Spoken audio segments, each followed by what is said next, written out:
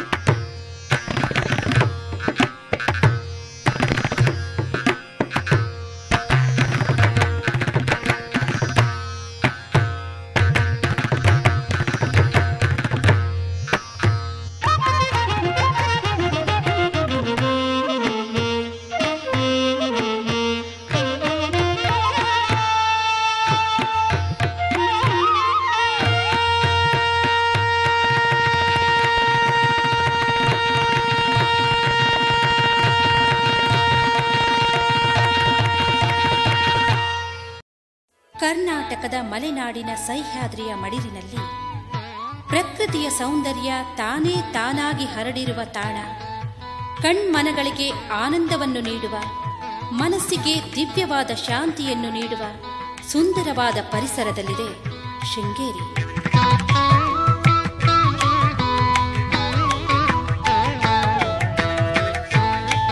ಶೃಂಗೇರಿಯ ಹೆಸರನ್ನು ಕೇಳಿದೊಡನೆ ಮನದಲ್ಲಿ ಅಲೌಕಿಕವಾದ ಆನಂದ ಉಂಟಾಗುತ್ತದೆ. ಸುತ್ತಲೂ ಹಸಿರಿನಿಂದ ಕಂಗೊಳಿಸುವ ಶೃಂಗೇರಿ ವಿದ್ಯಾದೇವತೆಯಾದ ಶ್ರೀ ಶಾರದ ಮಾತೆಯು ನೆಲೆಸಿರುವ ಸ್ಥಳ.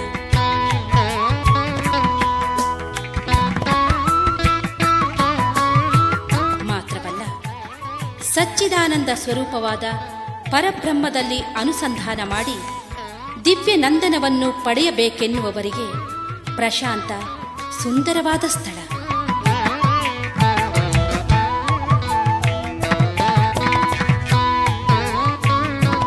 ಶ್ರೀ ಶಾರದ ಮಾತೆಯ ಚಿತ್ರ ನಮ್ಮ ಕಣ್ಣುಗಳ ಮುಂದೆ ನಿಲ್ಲುವುದು. ಜೊತೆಗೆ ಆಚಾರ್ಯ ಶಂಕರಾಚಾರ್ಯ ಮತ್ತು ಅದ್ವೈತ ದರ್ಶನದ ನೆನಪು ಮೂಡಿಬರುವುದು ಸಹಜ. ಶೃಂಗೇರಿ ಶ್ರೀ ಶಾರದಾ ಮಾತೆ, ಶ್ರೀ ಶಂಕರಾಚಾರ್ಯ, ಅದ್ವೈತ ದರ್ಶನ, ಈ ನಾಲ್ಕರ ಅವಿಭಾಜ್ಯ ಸಂಬಂಧಗಳು ಕಳೆದ ಸಾವಿರದ ಇನ್ನೂರು ವರ್ಷಗಳಿಂದಲೂ ಮಿಗಿಲಾಗಿ ಪ್ರವಹಿಸುತ್ತಾ ಬಂದಿದೆ ಎಂಬುದು ವಿಶಿಷ್ಟವಾದುದು.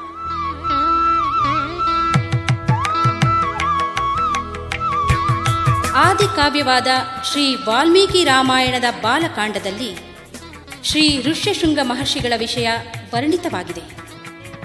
ಈ ವಿಭಾಂಡಕ ಮಹರ್ಷಿಗಳ ಪುತ್ರರಾದ ಶ್ರೀ ಋಷ್ಯಶೃಂಗ ಹುಟ್ಟಿನ ಹಿನ್ನೆಲೆ ವೈಶಿಷ್ಟ್ಯಗಳಿಂದ ಕೂಡಿದೆ. ಹುಟ್ಟಿದ ಮಗುವಿನ ತಲೆಯ ಮೇಲೆ ಮೃಗಲಾಂಛನವಾದ ಶೃಂಗ ಇದ್ದುದರಿಂದ ಋಷ್ಯಶೃಂಗ ಎಂಬ ಹೆಸರು ಬಂದಿತು. ಋಷ್ಯಶೃಂಗ ಮಹರ್ಷಿಯ ಪ್ರಾಚೀನ ಕಥೆಯಿಂದ ಸಾರ್ವಕಾಲಿಕ ಪ್ರಸಿದ್ಧಿಯನ್ನು ಪಡೆದಿರುವ ಊರು ಋಷ್ಯಶೃಂಗಪುರ. ಶೃಂಗಗಿರಿ ಅಥವಾ ಶೃಂಗೇರಿ ಎಂದು ಹೆಸರು ಬಂತು.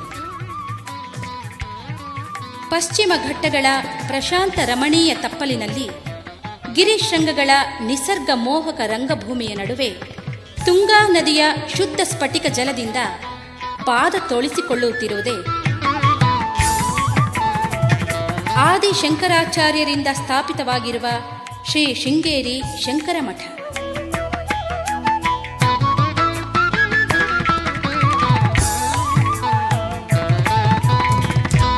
ಇಡೀ ಕರ್ನಾಟಕ ರಾಜ್ಯದಲ್ಲಿ ಇಷ್ಟು ನಿಸರ್ಗ ರಮಣೀಯವಾದ ಮತ್ತೊಂದು ಸುಂದರ ಸ್ಥಾನವನ್ನು ಕಾಣುವುದು ಬಹು ಕಷ್ಟ.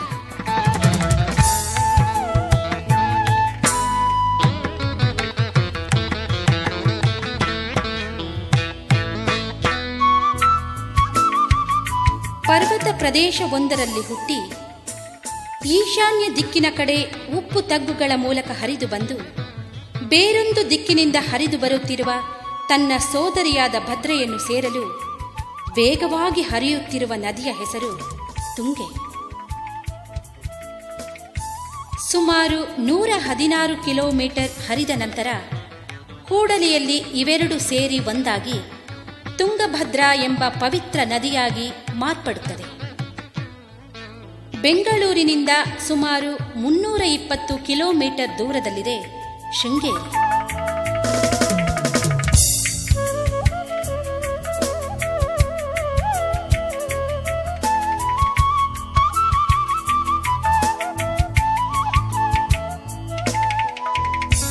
ಇದಕ್ಕೆ ಚಿಕ್ಕಮಗಳೂರು ಅಥವಾ ಶಿವಮೊಗ್ಗ ಮಾರ್ಗವಾಗೂ ಹೋಗಬಹುದು.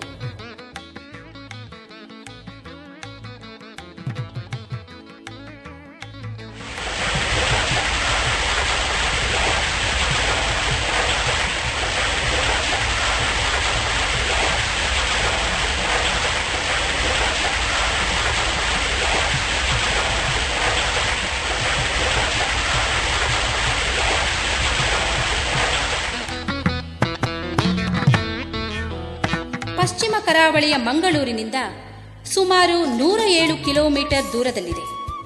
ಇಲ್ಲಿಗೆ ಬಸ್ಸುಗಳ ಸೌಕರ್ಯ ಹಗಲು ಮತ್ತು ರಾತ್ರಿಯೂ ಇದೆ.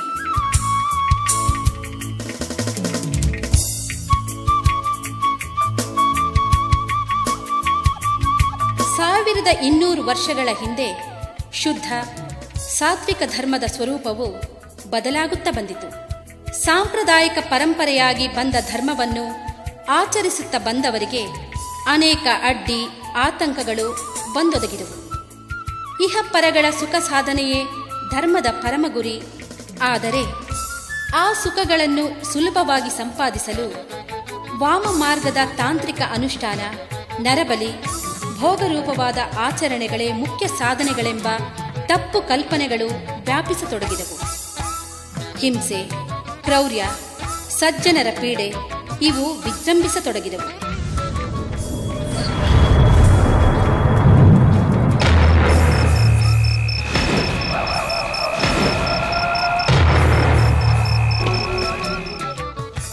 ಇವನ್ನು ತಡೆಗಟ್ಟಿ ಸಾತ್ವಿಕ ಪ್ರವೃತ್ತಿ ಬೆಳೆಯುವಂತೆ ಮಾಡುವ ಉದ್ದೇಶದಿಂದ ಹಾಗೂ ಸನಾತನ ಧರ್ಮದ ಪುರತ್ಥಾನಕ್ಕಾಗಿ ಭಗವಂತನು ಧರ್ಮಜ್ಞಾನಿಯಾದ ನಾನು ಒಮ್ಮೆ ಸ್ವತಃ ಭೂಮಂಡಲದಲ್ಲಿ ಅವತರಿಸಿ ಧರ್ಮ ಸ್ಥಾಪಿಸಿದ್ದೇನೆ ಎಂದು ಪರಮಾತ್ಮನು ಗೀತೆಯಲ್ಲಿ ಹೇಳಿದ್ದಾರೆ ಅದೇ ರೀತಿಯಾಗಿ ಭಗವಂತರು ಆಚಾರ್ಯ ಶ್ರೀ ಶಂಕರಾಚಾರ್ಯರಾಗಿ ಅವತರಿಸಿದರು.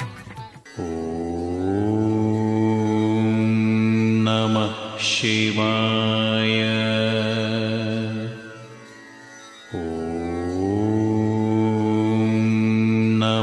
ಶಿವಾಯ.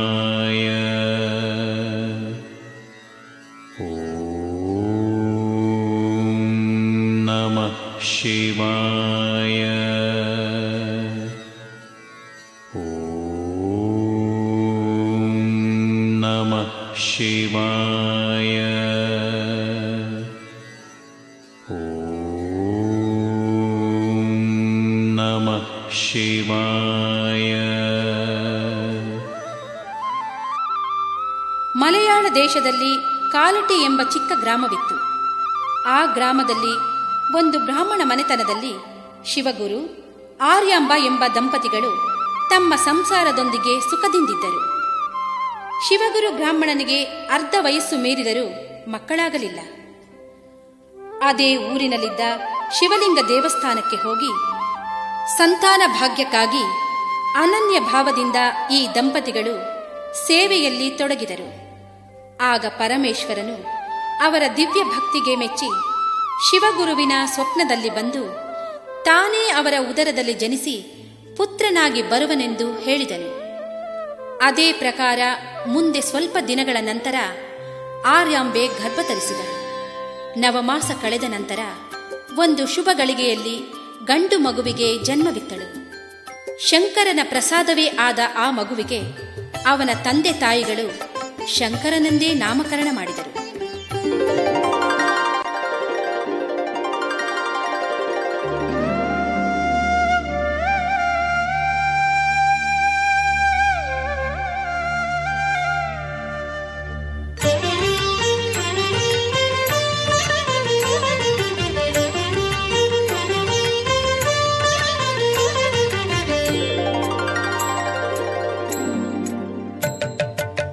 ಸಾಕ್ಷಾತ್ ಪರಶಿವನೇ ಶ್ರೀ ಶಂಕರ ಗುರುವರನೆ, ಕಾಲತಿಯ ನೆಲದಿ ಜನಿಸಿ ಬಂದವನೇ.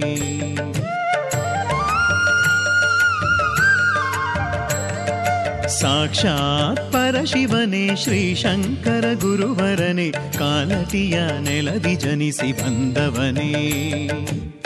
ಶಿವಗುರು ಆರ್ಯಾಂಬೆ ಮಮತೆಯ ಪಡೆದು ನೀ, ಆತುರ ಸನ್ಯಾಸ ಪಡೆದು ಮೆರೆದೆನಿ ಗುರು ಗೋವಿಂದರ ಶರಣಾದೆ ನೀನು, ನಿಜ ಅರಿವು ನೀಡಿ ಭುವಿಗೆ ಬೆಳಕು ತಂದೆ ನೀನು. ಜಯ ಜಯ ಜಯ ಜಯ ಜಯ ಜಯ ಶಂಕರ, ಅದ್ವೈತ ಆಧ್ಯಾತ್ಮ ಸಾಗರ. जय जय जय जय जय जय शङ्कर। अद्वैत आध्यात्मसागरा साक्षात् परशिवने श्रीशङ्कर गुरुवरने कालटिय नेलदि जनसि वन्दवने शृङ्गेरिगे नित्यकीर्ति तन्दवने।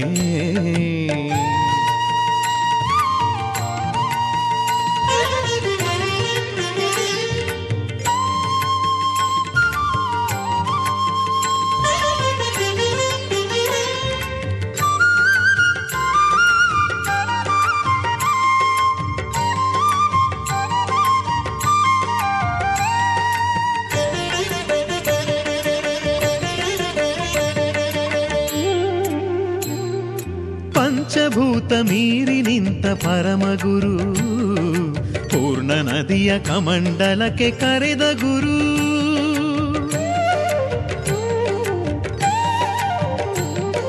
ಪಂಚಭೂತ ಮೀರಿ ನಿಂತ ಪರಮಗುರು, ಪೂರ್ಣ ನದಿಯ ಕಮಂಡಲಕ್ಕೆ ಕರೆದ ಗುರು. ತಾಯಿಯ ಸೇವೆಯನು ಎಂದು ಮರೆಯದಲೆ ಮಾನವ ಧರ್ಮವನು. ಸಾರುತ್ತ ಮೆರೆಯುತ್ತಲೇ, ಈ ಭಾರತ ಧರ್ಮ ಸನಾತನವೆನುತ ಮನದೊಳಗಿನ ಮನೆಯೇ ಪರಂ ಬ್ರಹ್ಮವೆನ್ನುತ್ತ. ಅಹಂ ಬ್ರಹ್ಮ ಅಸ್ಮಿ ಎಂದೆ ನೀ ನಗು ನಗುತ್ತಾ. ಜಯ ಜಯ ಜಯ ಜಯ ಜಯ ಜಯ ಶಂಕರ. ಅದ್ವೈತ ಆಧ್ಯಾತ್ಮ ಸಾಗರ. ಜಯ ಜಯ ಜಯ ಜಯ ಜಯ ಜಯ ಶಂಕರ. ಅದ್ವೈತ ಆಧ್ಯಾತ್ಮ ಸಾಗರ. ಸಾಕ್ಷಾತ್ ಪರಶಿವನೇ ಶ್ರೀಶಂಕರ ಗುರುವರನೆ ಕಾಲಟಿಯ ನೆಲದಿ ಜನಿಸಿ ಬಂದವನೇ. ಶೃಂಗೇರಿ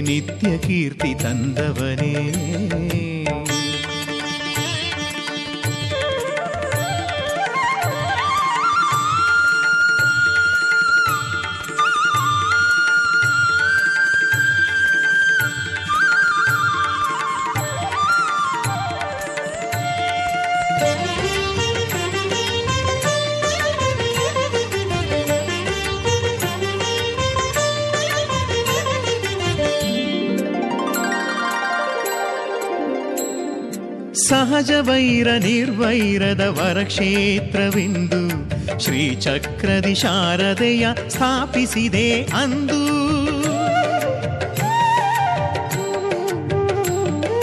ಸಹಜ ವೈರ ನಿರ್ವೈರದ ವರಕ್ಷೇತ್ರವೆಂದು ಶ್ರೀಚಕ್ರದಿ ಶಾರದೆಯ ಸ್ಥಾಪಿಸಿದೆ ಅಂದು. ಗೀತೆಯ ಭಾಷ್ಯವೋ, ಬ್ರಹ್ಮಸೂತ್ರವೋ ಭಜ ಗೋವಿಂದವೋ ವಿಧ ವಿಧ ಲಹರಿಯೋ ನಿನ್ನಿಂದಲೇ ಎಲ್ಲ ಸರಳವಾದವಲ್ಲ. ಅಣುವಣುವಲು ದೈವಲೀಲೆ ಇದೆ ಎನ್ನುತ್ತಾ. ದೈವವಿಂದು ಜೀವವೆಂದೆ ನೀ ನಗು ನಗುತ್ತಾ. ಜಯ ಜಯ ಜಯ ಜಯ ಜಯ ಜಯ ಶಂಕರ. ಅದ್ವೈತ ಆಧ್ಯಾತ್ಮ ಸಾಗರ. ಜಯ ಜಯ ಜಯ ಜಯ ಜಯ ಜಯ ಶಂಕರ. ಆಧ್ಯಾತ್ಮ ಸಾಗರ. ಸಾಕ್ಷಾತ್ ಪರಶಿವನೇ ಶ್ರೀಶಂಕರ ಗುರುವರನೆ, ಕಾಲಟಿಯ ನೆಲದಿ ಜನಿಸಿ ಬಂದವನೇ. ಸಾಕ್ಷಾತ್ ಪರಶಿವನೇ ಶ್ರೀಶಂಕರ ಗುರುವರನೆ, ಕಾಲಟಿಯ ನೆಲದಿ ಜನಿಸಿ ಬಂದವನೇ. ಶಿವಗುರು ಆರ್ಯಾಂಬೆ, ಮಮತೆಯ ಪಡೆದು ಮೆರೆದಿನಿ. ಗುರು ಗೋವಿಂದರ ಶರಣಾದೆ ನೀನು. ನಿಜ ಅರಿವು ನೀಡಿ ಭುವಿಗೆ ಬೆಳಕು ತಂದೆ ನೀನು. ಜಯ ಜಯ ಜಯ ಜಯ ಜಯ ಜಯ ಶಂಕರ. ಅದ್ವೈತ ಆಧ್ಯಾತ್ಮ ಸಾಗರ. ಜಯ ಜಯ ಜಯ ಜಯ ಜಯ ಜಯ ಶಂಕರ. ಅದ್ವೈತ ಆಧ್ಯಾತ್ಮ ಸಾಗರ. ಜಯ ಜಯ ಜಯ ಜಯ ಜಯ ಜಯ ಶಂಕರ. ಅದ್ವೈತ ಆಧ್ಯಾತ್ಮ ಸಾಗರ. ಅದ್ವೈತ ಆಧ್ಯಾತ್ಮ ಸಾಗರ. ಮುಂದೆ ಮಗು ಶಂಕರನು ದಿನದಿಂದ ದಿನಕ್ಕೆ ಬಾಲ ಸೂರ್ಯನಂತೆ ತೇಜಪುಂಜನಾಗಿ ಬೆಳೆಯತೊಡಗಿದನು. ಮುಂದೆ ಮಗು ಮೂರು ವರ್ಷದವನಾಗುತ್ತಲೇ ಶಂಕರನ ತಂದೆ ತೀರಿಕೊಂಡರು. ಪತಿಯನ್ನು ಕಳೆದುಕೊಂಡ ಆರ್ಯಾಂಬ, ತಂದೆಯನ್ನು ಕಳೆದುಕೊಂಡ ಶಂಕರನು ಅನಾಥರಾದರು. ಮುಂದೆ ಆರ್ಯಾಂಬ ಕೂಲಿ ಕಂಬಳಿ ಮಾಡುತ್ತಾ ಮಗನನ್ನು ಬೆಳೆಸತೊಡಗಿದಳು. ಶಂಕರನು ಐದು ವರ್ಷದ ಬಾಲಕನಾದ ನಂತರ ಓರ್ವ ಸಿರಿವಂತ ಪುಣ್ಯಾತ್ಮನು ಶಂಕರನಿಗೆ ಉಪನಯನ ಸಂಸ್ಕಾರವನ್ನಿತ್ತರು. ಮುಂದೆ ಶಂಕರನು ಸಾಮಾನ್ಯ ಬಾಲಕನಾಗಲಿಲ್ಲ. ಹುಟ್ಟಿದಾಗಿನಿಂದ ಸಮಸ್ತ ವೇದ ವೇದಾಂತಗಳನ್ನು ಶಾಸ್ತ್ರ ವ್ಯಾಕರಣಾದಿಗಳು ಅವನೊಂದಿಗೆ ಹುಟ್ಟಿನೊಂದಿಗೆ ಬಂದಿದ್ದವು.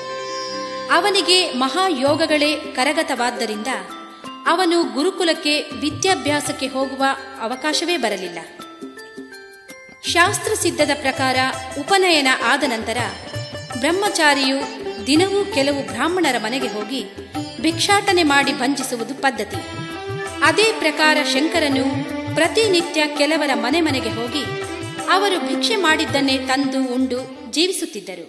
ಶಂಕರರು ಒಂದು ದಿನ ಓರ್ವ ಬ್ರಾಹ್ಮಣರ ಮನೆಯ ಮುಂದೆ ಬಂದು ನಿಂತು, ಓಂ ಭವತಿ ಭಿಕ್ಷಾಂದೇಹಿ ಎಂದು ಕೂಗಿದರು. ಆ ಮನೆಯ ಒಡತಿಯು ಅಷ್ಟದರಿದ್ರಳು. ಬಾಗಿಲು ಮುಂದೆ ಬಂದು ನಿಂತ ಮಗುವಿಗೆ ಭಿಕ್ಷೆ ನೀಡಲು ಅವಳ ಮನೆಯಲ್ಲಿ ಆ ಸಮಯಕ್ಕೆ ಏನೂ ಇರಲಿಲ್ಲ. ಆದರೆ ಬಾಡಿ ಒಣಗಿದಂತ ಒಂದು ಬೋರೆ ಹಣ್ಣು ಮಾತ್ರ ಇತ್ತು. ಅದನ್ನು ತಂದು, ಅಪ್ಪ, ನಾನು ಬಡವಿ. ಈಗ ನನ್ನ ಹತ್ತಿರ ಇರುವುದು ಇದು ಒಂದೇ. ಒಂದು ಬೋರೆ ಹಣ್ಣು ಎಂದು ಕಣ್ತುಂಬ ನೀರು ತಂದು ಆ ಬೋರೆ ಹಣ್ಣನ್ನು ಶಂಕರನ ಜೋಳಿಗೆಯಲ್ಲಿ ಹಾಕಿದಳು. ಅವಳ ಭಕ್ತಿಗೆ ಮೆಚ್ಚಿ ಬಂಗಾರದ ಬೋರೆ ಹಣ್ಣುಗಳನ್ನೇ ರಾಶಿಯಾಗಿ ಸೃಷ್ಟಿಸಿ ಶಂಕರರು ಹೊರಟು ಹೋದರು.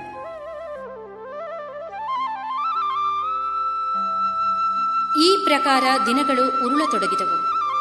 ಒಂದು ದಿನ ಬೇಸಿಗೆಯ ಕಾಲದಲ್ಲಿ ಮಧ್ಯಾಹ್ನದ ಬಿಸಿಲು ಭಯಂಕರವಾಗಿತ್ತು. ಆ ದಿನ ಮನೆಯಲ್ಲಿ ಬಾಲಕರಾದ ಶಂಕರರೊಬ್ಬರೇ ಇದ್ದರು. ಅವರ ತಾಯಿಯಾದ ಆರ್ಯಾಂಬ ಸ್ನಾನಕ್ಕೆಂದು ನದಿಗೆ ಹೋಗಿದ್ದಳು. ತಾಯಿಯೇ ದೇವರು, ತಾಯಿಯೇ ಅವರಿಗೆ ಸರ್ವಸ್ವವಾಗಿದ್ದಳು. ಇಂಥ ದೇವರ ಸ್ವರೂಪಿಯಾದ ಮಾತೆಯು ಸ್ನಾನ ಮಾಡಿ ಬರುವಾಗ ಕುಂಭದಲ್ಲಿ ನೀರನ್ನು ತುಂಬಿಕೊಂಡು ತಲೆಯ ಮೇಲೆ ಹೊತ್ತುಕೊಂಡು ಬಿಸಿಲಿನ ಬೇಗೆಯಿಂದ ಕಾಯ್ದ ಉಸುಕಿನಲ್ಲಿ ಸಂಕಟ ಪಡುತ್ತಾ ನಡೆದು ಬರುವುದನ್ನು ನೋಡಿ ಶಂಕರರು ಮರಮರ ಮರುಗಿದರು. ತಾಯಿಯು ಪಡುವ ಸಂಕಟವನ್ನು ನೆನೆದು ಶಂಕರರು ಗಂಗಾ ಮಾತೆಯನ್ನು ಅನನ್ಯ ಭಾವದಿಂದ ಸ್ತುತಿಸಿದರು. ತನ್ನ ತಾಯಿಗೆ ಅನುಕೂಲವಾಗುವಂತೆ ನದಿಯು ತಮ್ಮ ಮನೆಯ ಸಮೀಪ ಹರಿಯಲು ಅನನ್ಯ ಭಾವದಿಂದ ಪ್ರಾರ್ಥಿಸಿದರು. ಆಗ ನದಿಯು ಶಂಕರರ ಮನೆಯ ಮುಂದೆಯೇ ಹರಿಯತೊಡಗಿದ್ದನ್ನು ಕಂಡು ಊರಿನ ಜನರೆಲ್ಲರೂ ಆಶ್ಚರ್ಯಗೊಂಡರು. ಈ ವಿಷಯವು ಆಗ ಕೇರಳ ರಾಜ್ಯವಾಳುತ್ತಿದ್ದ ರಾಜಶೇಖರ ಮಹಾರಾಜರಿಗೆ ತಿಳಿಯಿತು. ಆಗ ರಾಜರು ವೃಷ್ಯಾದ್ರಿ ಗ್ರಾಮಕ್ಕೆ ಬಂದು ಬಾಲಕರಾದ ಶಂಕರರನ್ನು ಅವರ ತಾಯಿಯನ್ನು ಕಂಡು ಶಂಕರರಿಗೆ ವಂದಿಸಿ ಅವರೀರ್ವರಿಗೂ ಸರಿಯಾಗಿ ಹೊಟ್ಟೆ ಬಟ್ಟೆಗಳ ವ್ಯವಸ್ಥೆ ಮಾಡಿ ಮರಳಿ ತನ್ನ ಸ್ಥಾನಕ್ಕೆ ಹಿಂದಿರುಗಿದರು ಶಂಕರರು ಏಳು ವರ್ಷದವರಾದ ಮೇಲೆ ತಾನು ಭೂಮಿಯಲ್ಲಿ ಜನಿಸಿ ಬಂದ ಉದ್ದೇಶದ ಅರಿವು ಅವರಿಗೆ ಬಂದಿತು. ನಶಿಸಿ ಹೋಗುತ್ತಿರುವ ಧರ್ಮವನ್ನು ಉಳಿಸಿ ಉದ್ಧರಿಸಬೇಕೆಂದು ಬಯಸಿದರು. ಈ ಕಾರ್ಯಕ್ಕೆ ಸನ್ಯಾಸಾಶ್ರಮವೇ ಯೋಗ್ಯವಾದುದೆಂದು ತೀರ್ಮಾನಿಸಿ ಸನ್ಯಾಸಾಶ್ರಮ ಸ್ವೀಕರಿಸಲು ತಾಯಿಯ ಅನುಮತಿಗಾಗಿ ತಾಯಿಯನ್ನು ಪ್ರಾರ್ಥಿಸಿದರು. ಅದಕ್ಕೆ ಅವರ ತಾಯಿಯು, ಮಗನೇ, ನೀನು ಸನ್ಯಾಸಿಯಾದ ಮೇಲೆ ಸಂಚಾರಿಯಾಗುವೆ. ಮುಂದೆ ನನ್ನ ಗತಿ ಏನು ಮಗನೇ? ಇರಲಿ ಮಗನೇ, ಧರ್ಮದ ಉದ್ಧಾರಕ್ಕಾಗಿ ನೀನು ಮಾಡಿದ ತೀರ್ಮಾನಕ್ಕೆ ನಾನು ಅಡ್ಡಿ ಬರುವುದಿಲ್ಲ. ಆದರೆ ನೀನು ಎಲ್ಲಿಯೇ ಇರಲಿ, ನನ್ನ ಸಂಸ್ಕಾರವೀಯುವುದಾದರೆ ನನ್ನದೇನು ಅಭ್ಯಂತರವಿಲ್ಲ ಎಂದಳು. ಆಗ ಶಂಕರರು ತಾಯಿಯ ಮಾತಿಗೆ ವಚನವಿತ್ತರು. ನಂತರ ಶಂಕರರು ಕಾಲ್ನಡಿಗೆಯಿಂದ ಬದರಿ ಆಶ್ರಮಕ್ಕೆ ಹೊರಟರು. ಬದರಿ ಸ್ಥಳಕ್ಕೆ ತಲುಪಿದ ನಂತರ ಅಲ್ಲಿ ಗೋವಿಂದನಾಥ ತೀರ್ಥರಿಂದ ಸನ್ಯಾಸಾಶ್ರಮ ಸ್ವೀಕರಿಸಿದರು. ಮುಂದೆ ಸನ್ಯಾಸಾಶ್ರಮದಿಂದ ಆಜ್ಞಾಪ್ತರಾಗಿ ಶ್ರೀ ಶಂಕರಾಚಾರ್ಯರು ತಮ್ಮ ತತ್ವ ಪ್ರಚಾರಕ್ಕೆಂದು ದೇಶ ಸಂಚಾರಕ್ಕಾಗಿ ಹೋದರು. ಶಂಕರಾಚಾರ್ಯರು ದೇಶ ಸಂಚಾರದಲ್ಲಿದ್ದಾಗಲೇ ವೇದವ್ಯಾಸರಿಂದ ರಚಿತವಾದ ಬ್ರಹ್ಮಸೂತ್ರಗಳಿಗೆ ಭಾಷ್ಯವನ್ನು ಬರೆದರು. ಬದರಿಯಿಂದ ಶ್ರೀ ಶಂಕರಾಚಾರ್ಯರು ಭಾಗೀರಥಿ ಸ್ನಾನಕ್ಕಾಗಿ ಕಾಶಿಗೆ ಬಂದರು.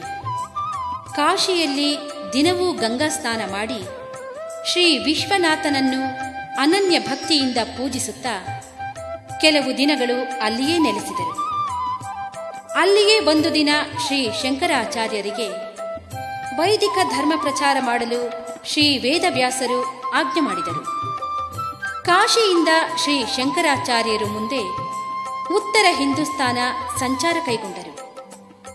ಎಲ್ಲೆಲ್ಲಿ ಪಂಡಿತರಿರುವರೋ ಅಲ್ಲಿಗೆ ಹೋಗಿ ವಾದದಲ್ಲಿ ಅವರನ್ನು ಪರಾಭವಗಳಿಸಿ ಅದ್ವೈತ ಧರ್ಮ ಸ್ಥಾಪಿಸುತ್ತಾ ನಡೆದರು. ಮುಂದೆ ಶಂಕರಾಚಾರ್ಯರು ದಿಗ್ವಿಜಯಕ್ಕಾಗಿ ದಕ್ಷಿಣ ಹಿಂದೂಸ್ತಾನಕ್ಕೆ ತೆರಳಿದರು. ಅಲ್ಲಿಯ ಎಲ್ಲ ತೀರ್ಥಕ್ಷೇತ್ರಗಳನ್ನು ಸಂದರ್ಶಿಸುತ್ತಾ, ತಮ್ಮ ತಮ್ಮ ಸಮತವಾದ ಅದ್ವೈತ್ಯವನ್ನು ಪ್ರಚಾರ ಮಾಡುತ್ತಾ ಶೃಂಗೇರಿಗೆ ಆಗಮಿಸಿದರು. ಸ್ವರ್ಗದ ಅಮರಾವತಿಯ ಉದ್ಯಾನಕ್ಕೆ ಸಮಾನವಾದ ಶೃಂಗೇರಿಯ ಸುಂದರವಾದ ಪ್ರದೇಶವನ್ನು ಕಂಡ ಶಂಕರಾಚಾರ್ಯರು ಮಂತ್ರಮುಗ್ಧರಾದರು. ಒಂದು ದಿನ ಮಧ್ಯಾಹ್ನ ಸ್ನಾನಕ್ಕೆಂದು ಶಿಷ್ಯನ ಸಂಗಡ ಶಂಕರರು ನದಿಗೆ ಬಂದರು. ಸ್ನಾನ ಮಾಡಲಿಕ್ಕೆಂದು ನೀರಿನಲ್ಲಿ ಇಳಿದಾಗ ಅವರ ದೃಷ್ಟಿಯು ಅಕಸ್ಮಾತ್ತಾಗಿ ಒಂದು ಬಂಡೆಗಲ್ಲಿನ ಪೊದರಿನಲ್ಲಿ ದೀನ ಸ್ವರದಿಂದ ಒದರುತ್ತಿರುವ ಕಪ್ಪೆಯ ಕಡೆಗೆ ಹೋಯಿತು. ಅದೊಂದು ಹೆಣ್ಣು ಕಪ್ಪೆಯಾದ್ದರಿಂದ ಗರ್ಭಧರಿಸಿ ಪ್ರಸವ ವೇದನೆಯಿಂದ ತೊಳಲಾಡುತ್ತಿತ್ತು. ಮಧ್ಯಾಹ್ನದ ಉರಿ ಬಿಸಿಲಿನಿಂದ ಅದು ಮತ್ತಷ್ಟು ಕಂಗಾಲಾಗಿತ್ತು. ಅದೇ ಸಮಯಕ್ಕೆ ಎಲ್ಲಿಂದಲೋ ಒಂದು ದೊಡ್ಡ ಘಟಸರ್ಪವು ಆ ಕಪ್ಪೆ ಕುಳಿತಲ್ಲಿಗೆ ಬರತೊಡಗಿತು. ಇನ್ನು ಆ ಸರ್ಪವು ಕಪ್ಪೆಯನ್ನು ನುಂಗದೆ ತನ್ನ ಹೆಡೆಯನ್ನು ಬಿಚ್ಚಿ ಪ್ರಸವ ವೇದನೆಯಿಂದ ಬಳಲುತ್ತಿರುವ ಕಪ್ಪೆಯ ಮೇಲೆ ಹಿಡಿದು ಅದನ್ನು ಬಿಸಿಲು ಬಡೆಯದ ಹಾಗೆ ನೆರಳು ಮಾಡಿತು. ಈ ದೃಶ್ಯವನ್ನು ಕಂಡ ಶಂಕರಾಚಾರ್ಯರು ಮಂತ್ರಮುಗ್ಧರಾದರು. ಕಪ್ಪೆ ಸರ್ಪಗಳು ನೈಸರ್ಗಿಕವಾಗಿಯೇ ದ್ವೇಷಗಳು. ಆ ದ್ವೇಷವನ್ನು ಬಿಟ್ಟು ಮಿತ್ರ ಭಾವವನ್ನು ತಳೆದುದಲ್ಲವೇ ಇದಕ್ಕೆ ಕಾರಣ. ಈ ಭೂಮಿಯ ಪರಿಸರದ ಪಾವಿತ್ರತೆಯೇ ಹೊರತು ಬೇರೆ ಇಲ್ಲ ಎಂದು ಇಲ್ಲಿಯೇ ತಮ್ಮ ಮಠವನ್ನು ಸ್ಥಾಪಿಸಲು ನಿರ್ಧಾರ ಮಾಡಿದರು. ಕಪ್ಪೆಗೆ ಹಾವು ನೆರಳಿತ್ತ ನೆನಪಿಗಾಗಿ ತುಂಗಾ ನದಿಯ ಸ್ನಾನಘಟ್ಟದಲ್ಲಿ ಕಪ್ಪೆ ಮತ್ತು ಹಾವುಗಳ ಶಿಲ್ಪವೂ ಇದೆ. ಮತ್ತು ಅದರ ಬಳಿಯಲ್ಲಿಯೇ ಕಪ್ಪೆ ಶಂಕರ ಎಂಬ ಲಿಂಗವು ಈಗಲೂ ಇದೆ. ಶಂಕರಾಚಾರ್ಯರು ಉತ್ತರ ಹಿಂದೂಸ್ತಾನದ ಪ್ರವಾಸದಲ್ಲಿದ್ದಾಗ ಕಾಶ್ಮೀರಕ್ಕೆ ಹೋಗಿ ಅಲ್ಲಿ ಸ್ವಲ್ಪ ಕಾಲವಿದ್ದು ಅದ್ವೈತ ಧರ್ಮದ ಪ್ರಚಾರದಲ್ಲಿ ಕಾಲ ಕಳೆದರು. ಶಂಕರಾಚಾರ್ಯರು ಕಾಶ್ಮೀರದಲ್ಲಿ ಸಂಚರಿಸುವಾಗ ಅವರಿಗೆ ಅಕಸ್ಮಾತ್ ಶಾರದಾಂಬೆಯ ಮೂರ್ತಿಯು ಕಣ್ಣಿಗೆ ಬಿದ್ದಿತು. ಆ ಶಾರದ ಮೂರ್ತಿಯನ್ನು ಕಂಡು ಶಂಕರಾಚಾರ್ಯರು ಭಾವಪರವಶರಾಗಿ ಆ ಮೂರ್ತಿಯನ್ನು, ಅವರು ಸಾಕ್ಷಾತ್ ಶಾರದೆಯನ್ನು ಪ್ರತ್ಯಕ್ಷವಾಗಿಯೇ ಕಂಡು ಅವಳಿಗೆ ಅನಂತ ವಂದನೆಗಳನ್ನು ಅರ್ಪಿಸಿದರು. ಆ ಶಾರದೆಯ ಮೂರ್ತಿಯನ್ನು ಅಲ್ಲಿಂದ ಅತ್ಯಂತ ಪವಿತ್ರವಾದ ಸ್ಥಳಕ್ಕೆ ಕರೆದೊಯ್ದು ಅಲ್ಲಿ ಅವಳನ್ನು ಪ್ರತಿಷ್ಠಾಪಿಸಬೇಕೆಂದು ತೀರ್ಮಾನಿಸಿ ಆ ಮೂರ್ತಿಯನ್ನು ತಂದರು. ಉತ್ತರದಿಂದ ದಕ್ಷಿಣಕ್ಕೆ ಪ್ರತಿ ತೀರ್ಥಕ್ಷೇತ್ರಕ್ಕೆ ಯಾತ್ರೆ ಕೈಗೊಂಡರು. ಅವರಿಗೆ ಶ್ರೀ ಶಾರದ ಮಾತೆಯನ್ನು ಪ್ರತಿಷ್ಠಾಪಿಸಲು ಸೂಕ್ತವಾದ ಸ್ಥಳ ಗೋಚರಿಸಲಿಲ್ಲ. ಶೃಂಗೇರಿಗೆ ಬಂದ ನಂತರ ಇಲ್ಲಿಯ ಸ್ಥಳ, ಪರಿಸರ ಎಲ್ಲವನ್ನೂ ವೀಕ್ಷಿಸಿ ಆನಂದ ಪರವಶರಾಗಿ ಇಲ್ಲಿಯೇ ಮೂರ್ತಿಯನ್ನು ಪ್ರತಿಷ್ಠಾಪಿಸಲು ತೀರ್ಮಾನಿಸಿದರು. ಮುಂದೆ ಪ್ರತಿಷ್ಠಾಪನಾ ಕಾರ್ಯವನ್ನು ಶಾಸ್ತ್ರೋಕ್ತವಾಗಿ ವಿಜೃಂಭಣೆಯಿಂದ ನೆರವೇರಿಸಿದರು.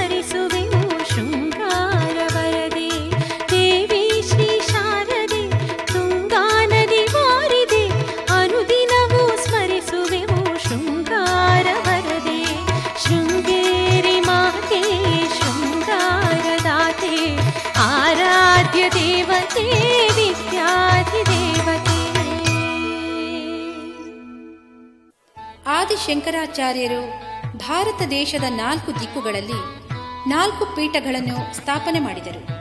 ಅವೆಂದರೆ ಪಶ್ಚಿಮದ ದ್ವಾರಕೆಯಲ್ಲಿ ಕಾಳಿಕಾಮಠ, ಉತ್ತರದ ಹಿಮಾಲಯದಲ್ಲಿ ಬದರಿಕಾಶ್ರಮ ಅಥವಾ ಜ್ಯೋತಿಮಠ, ಪೂರ್ವದ ಜಗನ್ನಾಥಪುರಿಯಲ್ಲಿ ಗೋವರ್ಧನ ಮಠ ಹಾಗೂ ದಕ್ಷಿಣದ ಶೃಂಗೇರಿಯಲ್ಲಿ ಶ್ರೀ ಶಾರದಾ ಮಠ ಈ ಎಲ್ಲ ಮಠಗಳಿಗೂ ಬೇರೆ ಬೇರೆ ದೇವತೆಗಳು, ತೀರ್ಥಗಳು ವೇದಗಳು, ಆಚಾರ್ಯರು, ಸಂಪ್ರದಾಯಗಳು, ಮಹಾವಾಕ್ಯಗಳು ಮತ್ತು ಯೋಗ ಪಟ್ಟವನ್ನು ಹೊಂದಿದೆ.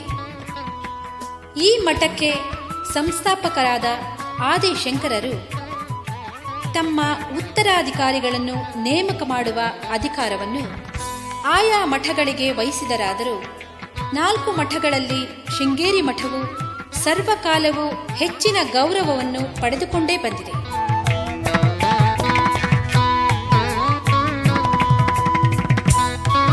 ಆದಿಶಂಕರರು ತಮ್ಮ ನಾಲ್ವರು ಪ್ರಧಾನ ಶಿಷ್ಯರಾದ ಶ್ರೀ ಪದ್ಮಪಾದಾಚಾರ್ಯ, ಶ್ರೀ ತೋಟಕಾಚಾರ್ಯ, ಶ್ರೀ ಹಸ್ತಮಲಕಾಚಾರ್ಯ ಮತ್ತು ಶ್ರೀ ಸುರೇಶ್ವರಾಚಾರ್ಯ ಇವರನ್ನು ಕ್ರಮವಾಗಿ ಪಶ್ಚಿಮ, ಉತ್ತರ, ಪೂರ್ವ, ದಕ್ಷಿಣ ದಿಕ್ಕುಗಳ ಮಠಕ್ಕೆ ಅಧಿಪತಿಗಳನ್ನಾಗಿ ನೇಮಿಸಿದರು.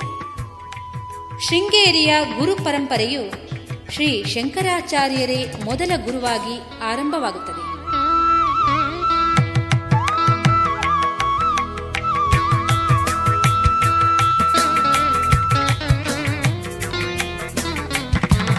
ಅಂದಿನಿಂದ ಇಂದಿನವರೆಗೆ ಮೂವತ್ತಾರು ಗುರುಗಳು ಶ್ರೀಮಠವನ್ನು ಒಂದು ಆಶ್ರಮವಾಗಿದ್ದ ಶೃಂಗೇರಿಯು ಇಂದು ಒಂದು ಬೃಹತ್ ಮಠವಾಗಿ ಬೆಳೆದು ಬಂದಿದೆ.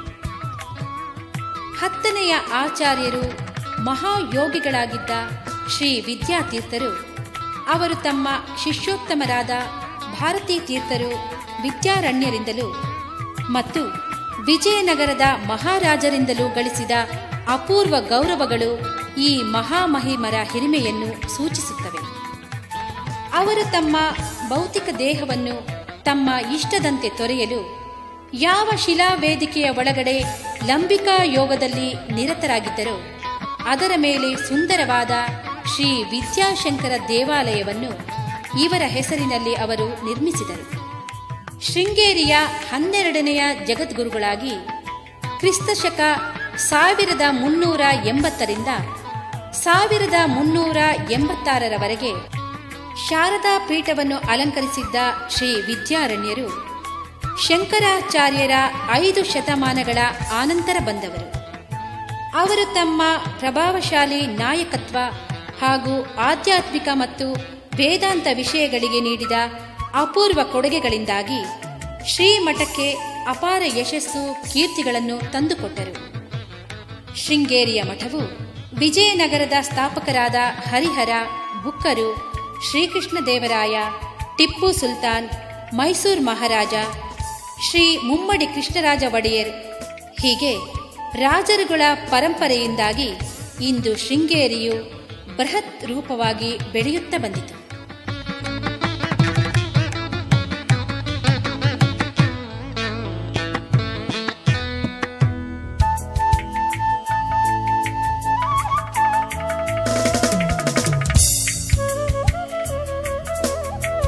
ಕ್ರಿಸ್ತಶಕ ಹತ್ತೊಂಬತ್ತನೆಯ ಶತಮಾನದ ಬಹುಪಾಲು ಭಾಗ ಶೃಂಗೇರಿಯ ಮೂವತ್ತೆರಡನೇ ಜಗದ್ಗುರುಗಳಾದ ಏಳನೆಯ ನರಸಿಂಹ ಭಾರತೀ ಮಹಾಸ್ವಾಮಿಗಳು ಸಾವಿರದ ಎಂಟುನೂರ ಹದಿನೇಳರಿಂದ ಸಾವಿರದ ಎಂಟುನೂರ ಎಪ್ಪತ್ತೊಂಬತ್ತರವರೆಗೆ ಪೀಠಾಧಿಪತಿಗಳಾಗಿದ್ದರು. ಮೂವತ್ಮೂರನೇ ಜಗದ್ಗುರುಗಳಾದ ಶ್ರೀ ಸಚ್ಚಿದಾನಂದ ಶಿವಭಿನವ ನರಸಿಂಹ ಭಾರತೀ ಸ್ವಾಮಿಗಳು ಸಾವಿರದ ಎಂಟುನೂರ ಎಪ್ಪತ್ತೊಂಬತ್ತರಿಂದ ಸಾವಿರದ ಒಂಬೈನೂರ ಹನ್ನೆರಡವರೆಗೆ ಪೀಠಾಧಿಪತಿಗಳಾಗಿದ್ದರು. ಇವರು ಶ್ರೀ ಶಂಕರಾಚಾರ್ಯರ ವಿಗ್ರಹವೊಂದನ್ನು ಶ್ರೀಮಠದ ಆವರಣದಲ್ಲಿ ಪ್ರತಿಷ್ಠಾಪನೆ ಮಾಡಿದರು. ಅವರು ಶ್ರೀ ಶಂಕರರಿಗೆ ಗೌರವ ಸೂಚಿಸಲು ವೈಶಾಖ ಮಾಸದ ಪಾಡ್ಯದಿಂದ ಆರಂಭಿಸಿ ಆಚಾರ್ಯರ ಜನ್ಮದಿನವಾದ ಪಂಚಮಿಯೆಂದು ಮುಗಿಯುವಂತೆ ಐದು ದಿನಗಳ ವಾರ್ಷಿಕ ಉತ್ಸವವನ್ನು ಪ್ರಾರಂಭಿಸಿದರು. ಮತ್ತೆ ಶಂಕರಾಚಾರ್ಯರು ಹುಟ್ಟಿದ ಊರು ಕಾಲಟಿಯಲ್ಲಿ ಆಚಾರ್ಯರ ಮಾತೆ ಆರ್ಯಾಂಬೆಯ ಅಗ್ನಿ ಸಂಸ್ಕಾರ ಮಾಡಿದ ಸ್ಥಳದ ಬಳಿಯಲ್ಲಿ ಶಾರದಾಂಬ ದೇವಾಲಯವನ್ನು ನಿರ್ಮಿಸಿದರು. ಅದಕ್ಕೆ ಸ್ವಲ್ಪ ಪಶ್ಚಿಮದಲ್ಲಿ ಶಂಕರಾಚಾರ್ಯರ ದೇವಾಲಯವನ್ನು ಕಟ್ಟಲಾಯಿತು. ಮುಂದೆ ಕ್ರಮೇಣ ಸಾವಿರದ ಒಂಬೈನೂರ ಏಳರಲ್ಲಿ ಜಗದ್ಗುರುಗಳೇ ಸ್ವತಃ ಪ್ರತಿಷ್ಠಾಪಿಸಿದ ಶ್ರೀ ಶಂಕರರ ಮೂರ್ತಿಯುಳ್ಳ ಬೆಂಗಳೂರಿನ ಶ್ರೀ ಶಂಕರ ಮಠವು ಭವ್ಯ ಭವನದ ರೂಪದಲ್ಲಿ ಪೂರ್ಣಗೊಂಡಿತು.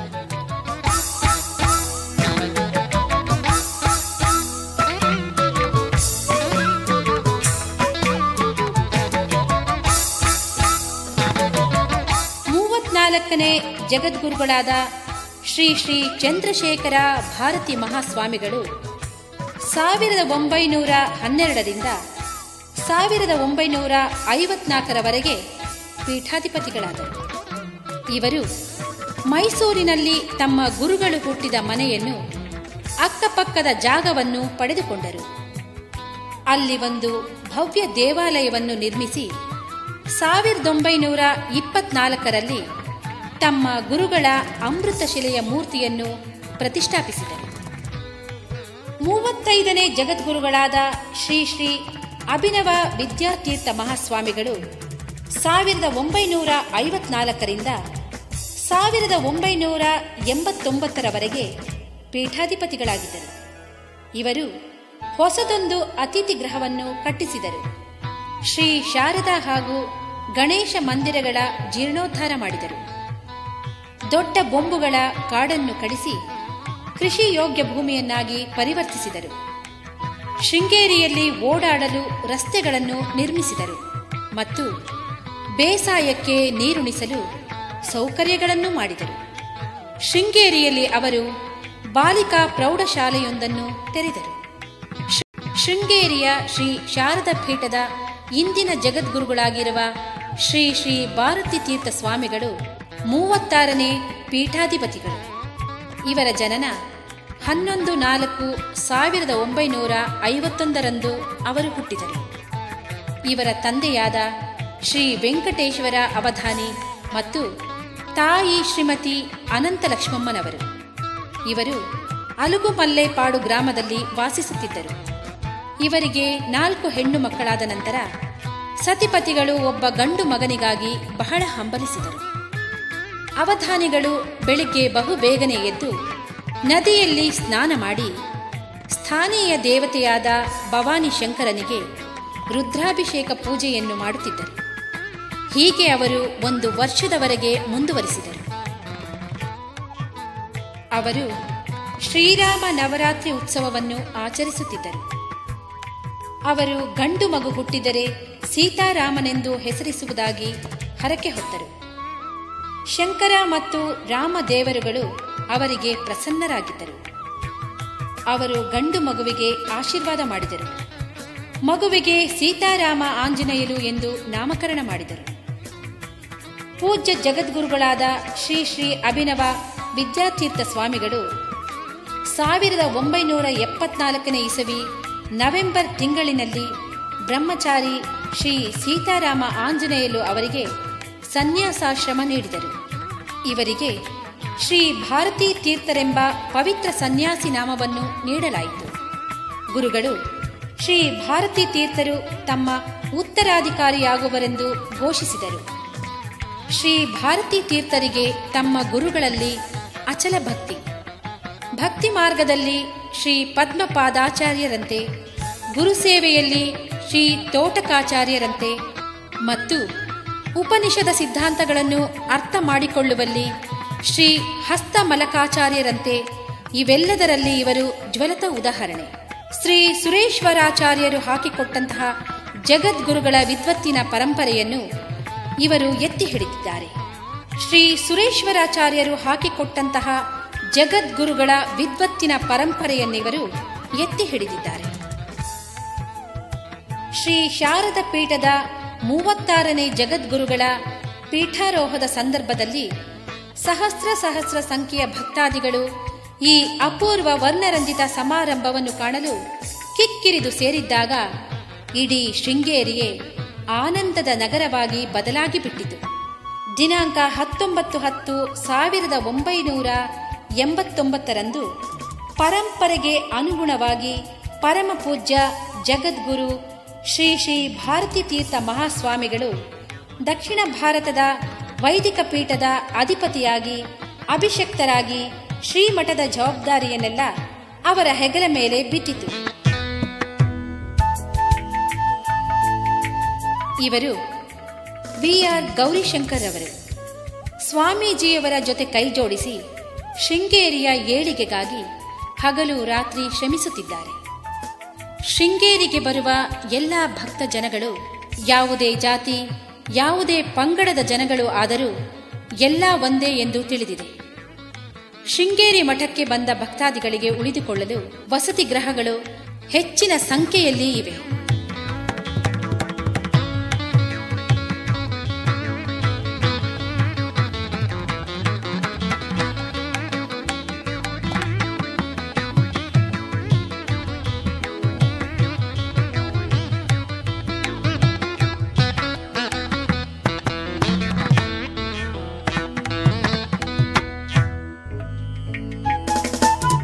ಜಗದ್ಗುರುಗಳಾದ ಶ್ರೀ ಶ್ರೀ ಸಚ್ಚಿದಾನಂದ ಶಿವಬಿನವ ನರಸಿಂಹ ಭಾರತಿಗಳು, ಶ್ರೀ ಚಂದ್ರಶೇಖರ ಭಾರತಿಗಳು ಮತ್ತು ಶ್ರೀ ಅಭಿನವ ವಿದ್ಯಾತೀರ್ಥ ಮಹಾಸ್ವಾಮಿಗಳವರ ಅಧಿಷ್ಠಾನಗಳ ಒಂದು ನೋಟ.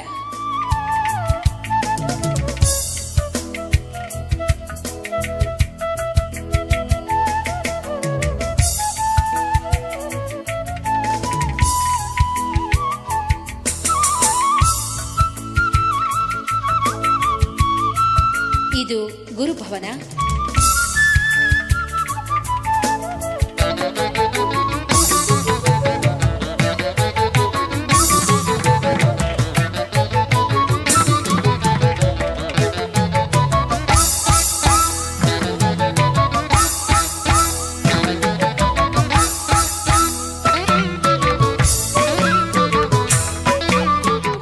ಶಂಕರರ ಅದ್ವೈತ ಸಂಶೋಧನಾ ಕೇಂದ್ರ.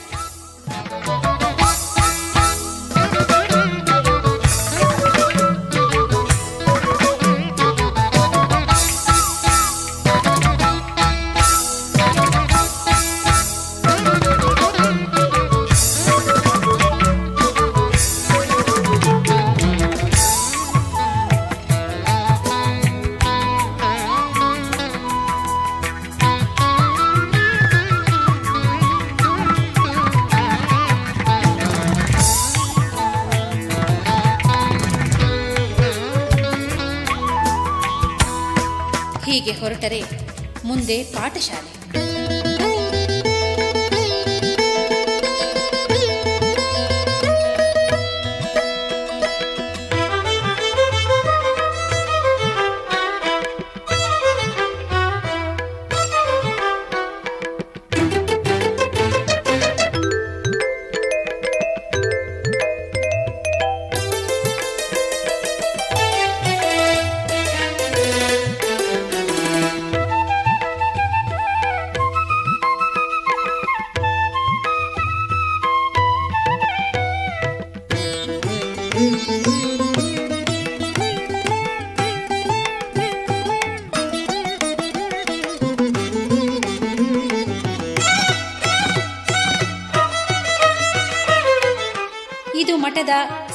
ವಾಹನಗಳ ನಿಲ್ದಾಣ.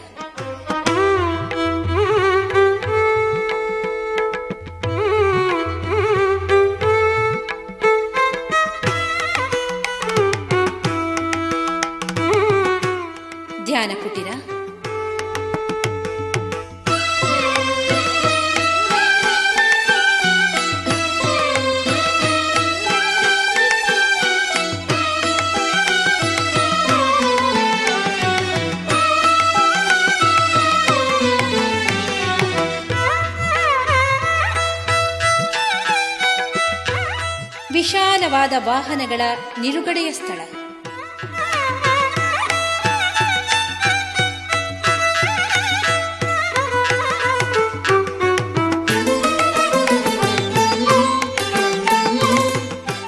ಇದು ಭೋಜನ ಶಾಲೆ ಬಂದ ಭಕ್ತ ಜನಗಳಿಗೆ ರುಚಿಕರವಾದ ಭೋಜನ ವ್ಯವಸ್ಥೆ ಪ್ರತಿದಿನ ಮಧ್ಯಾಹ್ನ ಮತ್ತು ರಾತ್ರಿಯೂ ನಡೆಯುವುದು.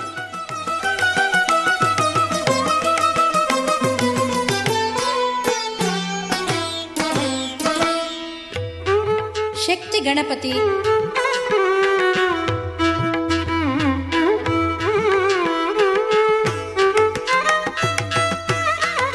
ಮತ್ತು ತೋರಣ ಗಣಪತಿ ಇಲ್ಲಿನ ವಿಶಿಷ್ಟ ದೇವತೆಗಳು.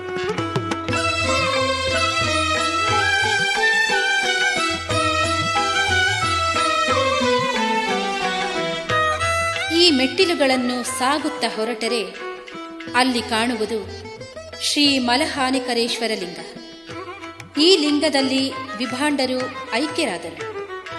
ಇವರ ಮಗ ಋಷ್ಯಶೃಂಗರು. ಶೃಂಗೇರಿಯಿಂದ ಹತ್ತು ಕಿಲೋಮೀಟರ್ ದೂರದಲ್ಲಿ ಕಿಗ್ಗ ಎಂಬ ಊರು ಇದೆ.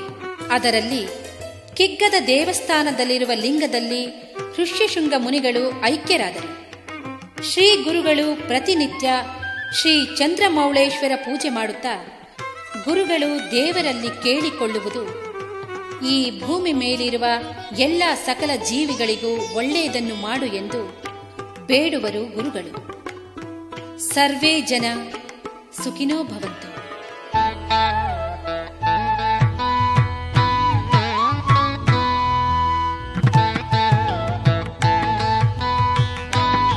ಏನಪ್ಪ ಇದು? ಕೊನೆಯಲ್ಲಿ ಬಸ್ಗಳನ್ನ ತೋರಿಸ್ತಿದ್ದಾರೆ ಅಂತ ಯೋಚನೆ ಮಾಡ್ತಿದ್ದೀರಾ? ನಾವು ನಿಮ್ಮನ್ನ ಹೊರನಾಡು ಅನ್ನಪೂರ್ಣೇಶ್ವರಿ ತಾಯಿ ದರ್ಶನ ಮಾಡ್ಸಕ್ಕೆ ಹೊರನಾಡು ಕರ್ಕೊಂಡು ಹೋಗ್ತಿದ್ದೀವಿ ಬನ್ನಿ, ಶೃಂಗೇರಿಯಿಂದ ಎಪ್ಪತ್ತೈದು ಕಿಲೋಮೀಟರ್ಗಳಂದ್ರೆ ಮೂರು ಗಂಟೆಗಳ ಪ್ರಯಾಣ. ಇಲ್ಲಿಂದ ಬಸ್ಗಳು ಬಹಳನೇ ಇದೆ. ಶೃಂಗೇರಿ, ಜೈಪುರ್, ಬಸ್ರಿಕಟ್ಟೆ, ಬಾಳೆಹೊಳೆ, ಕಳಸ, ಹೊರನಾಡು ಈ ಮಾರ್ಗವಾಗಿ ಹೊರಟ್ರೆ ಪ್ರಕೃತಿಯ ಸೌಂದರ್ಯ ಕಣ್ಣುಗಳಿಗೆ ಸ್ವರ್ಗದ ಅನುಭವ ಆಗುತ್ತೆ.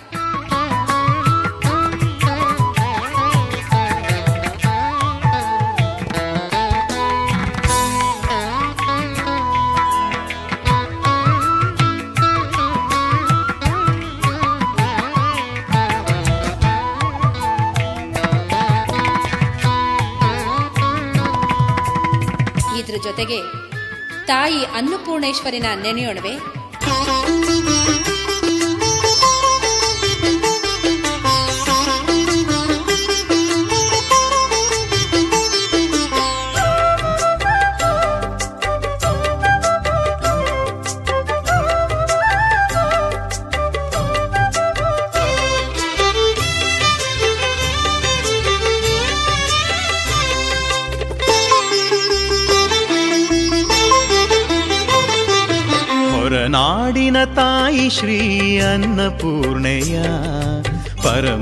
ಭಕ್ತಿಯಿಂದ ಹಾಡೆ ಭಕ್ತ ಪಾವನ.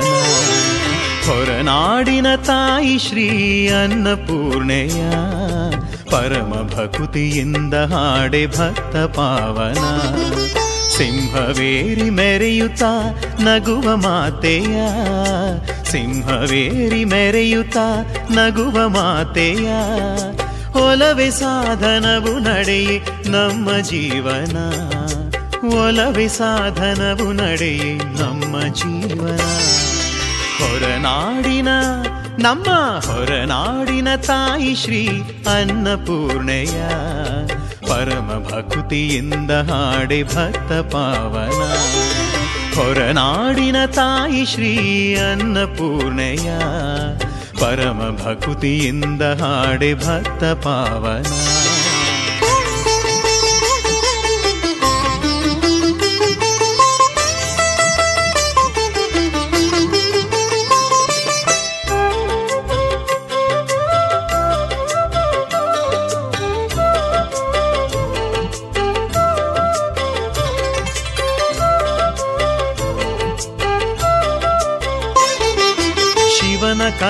ಹಿಡಿಯೆ ಬಿಡದೆ ಬ್ರಹ್ಮನ ಶಿರವಂದು ತಿರು ತಿರುಗಿದ ಕಪ್ಪರವ ಹಿಡಿದು ಬಿಡದೆ ಶಿವನಂದು. ಶಿವನ ಕರವ ಹಿಡಿಯೆ ಬಿಡದೆ ಬ್ರಹ್ಮನ ಶಿರವಂದು ತಿರು ತಿರುಗಿದ ಕಪ್ಪರವ ಹಿಡಿದು ಬಿಡದೆ ಶಿವನಂದು. ಯಾರು ಭಿಕ್ಷೆ ನೀಡಿದರೂ ಬಿಡದು ಆ ಶಿರವಂದು.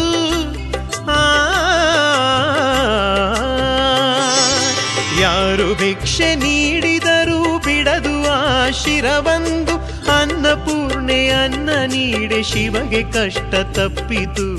ಅನ್ನಪೂರ್ಣೆ ಅನ್ನ ನೀಡೆ ಶಿವಗೆ ಕಷ್ಟ ತಪ್ಪಿತು. ಹೊರನಾಡಿನ, ನಮ್ಮ ಹೊರನಾಡಿನ ತಾಯಿ ಶ್ರೀ ಅನ್ನಪೂರ್ಣೆಯ ಪರಮ ಭಕ್ತಿಯಿಂದ ಹಾಡೆ ಭಕ್ತ ಪಾವನ. ಹೊರನಾಡಿನ ತಾಯಿ ಶ್ರೀ ಅನ್ನಪೂರ್ಣೆಯ ಪರಮ ಭಕ್ತಿಯಿಂದ ಹಾಡೆ ಭಕ್ತ ಪಾವನ.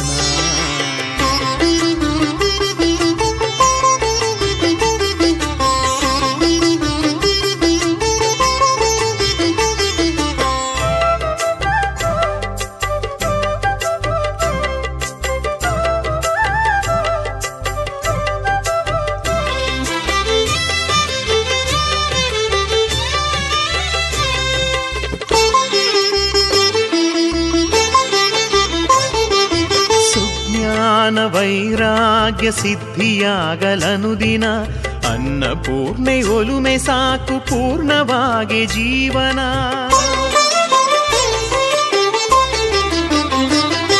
ಸುಜ್ಞಾನ ವೈರಾಗ್ಯ ಸಿದ್ಧಿಯಾಗಲನು ದಿನ. ಅನ್ನಪೂರ್ಣೆ ಒಲುಮೆ ಸಾಕು ಪೂರ್ಣವಾಗಿ ಜೀವನ. ಸಿರಿ ಸರ್ಪದ ನೆರಳಿನಲ್ಲಿ ನಿಂತ ದಿವ್ಯ ದೇವಿಯ. ಸಿರಿ ಸರ್ಪದ ನೆರಳಿನಲ್ಲಿ ದಿವ್ಯ ದೇವಿಯ ಮೂರ್ತಿ ನೋಡಿ ಹಾಡೆ ನಾವು ಪಡೆವೆವೆಂದು ಕೀರ್ತಿಯ ಮೂರ್ತಿ ನೋಡಿ ಹಾಡೆ ನಾವು ಪಡೆವೆವೆಂದು ಕೀರ್ತಿಯ ಹೊರನಾಡಿನ ತಾಯಿ ಶ್ರೀ ಅನ್ನಪೂರ್ಣೆಯ ಪರಮ ಭಕ್ತಿಯಿಂದ ಹಾಡೆ ಭಕ್ತ ಪಾವನ. ಹೊರನಾಡಿನ ತಾಯಿ ಶ್ರೀ ಅನ್ನಪೂರ್ಣೆಯ ಪರಮ ಭಕ್ತಿಯಿಂದ ಹಾಡೆ ಭಕ್ತ ಪಾವನ. ಸಿಂಹವೇರಿ ಮೆರೆಯುತ್ತ ನಗುವ ಮಾತೆಯ. ಸಿಂಹವೇರಿ ಮೆರೆಯುತ್ತ ನಗುವ ಮಾತೆಯ. ಒಲವೆ ಸಾಧನವು ನಡೆಯೇ ನಮ್ಮ ಜೀವನ. ಒಲವು ಸಾಧನವು ನಡೆಯೇ ನಮ್ಮ ಜೀವನ. ಹೊರನಾಡಿನ ನಮ್ಮ ಹೊರನಾಡಿನ ತಾಯಿ ಶ್ರೀ ಅನ್ನಪೂರ್ಣೆಯ ಪರಮ ಭಕ್ತಿಯಿಂದ ಹಾಡೆ ಭಕ್ತ ಪಾವನ. ಹೊರನಾಡಿನ ತಾಯಿ ಶ್ರೀ ಅನ್ನಪೂರ್ಣೆಯ ಪರಮ ಭಕ್ತಿಯಿಂದ ಹಾಡೆ ಭಕ್ತ ಪಾವನ.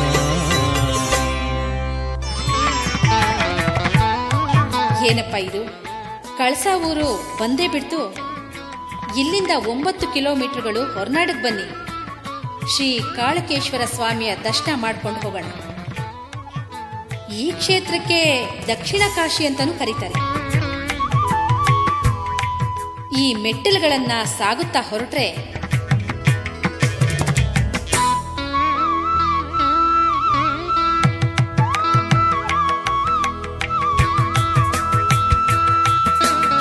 ಗಂಡಾನೆ ಗಣಪತಿ ಮತ್ತು ಹೆಣ್ಣಾನೆ ಗಣಪತಿ ಗುಡಿಗಳು. ಇದಕ್ಕೆ ನಮಸ್ಕಾರ ಮಾಡಿ ಮುಂದೆ ಹೋಗೋಣ. ಶ್ರೀ ಸರ್ವಾಂಗ ಸುಂದರಂನವರ ದರ್ಶನ ಪಡೆಯೋಣ.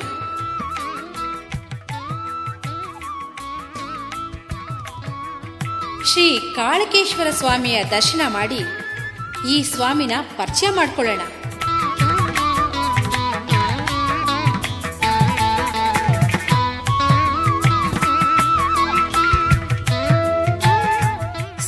ಸಾವಿರದ ಎರಡು ವರ್ಷಗಳಿಗೂ ಹೆಚ್ಚಿನ ಇತಿಹಾಸ ಹೊಂದಿರುವ ಈ ಕ್ಷೇತ್ರ ಶ್ರೀ ಅಗಸ್ತ್ಯರು ಜನ್ಮ ತಾಳಿದ ಸ್ಥಳವಿದು. ಮಣ್ಣಿನಿಂದ ಶಿವಲಿಂಗ ಮಾಡಿ ಪ್ರತಿನಿತ್ಯ ಪೂಜೆ ಮಾಡಿದ್ರು ಅಗಸ್ತ್ಯರು. ಶ್ರೀ ಅಗಸ್ತ್ಯರು ಮತ್ತು ವಶಿಷ್ಠ ಮಹಾಮುನಿಗಳಿಂದ ಪೂಜಿಸಲ್ಪಟ್ಟ ಸ್ವಯಂ ಭೂಲಿಂಗ ಸ್ವರೂಪಿಯಾದ ಪರಶಿವನು ಈ ಲಿಂಗದಲ್ಲಿ ಪ್ರತ್ಯಕ್ಷನಾಗ್ತಾನೆ. ಈ ಸ್ಥಳ ಕಾಶಿ ಕ್ಷೇತ್ರದಲ್ಲಿ ಲಭಿಸುವ ಪುಣ್ಯಕ್ಕಿಂತ ಒಂದು ಗುಲಗಂಜಿ ಹೆಚ್ಚಿನ ಪುಣ್ಯ ಲಭಿಸುವ ಪರಮ ಪಾವನವಾದ ದಕ್ಷಿಣ ಕಾಶಿ ಅಂತ ಪ್ರಸಿದ್ಧಿ ಪಡೆದಿದೆ.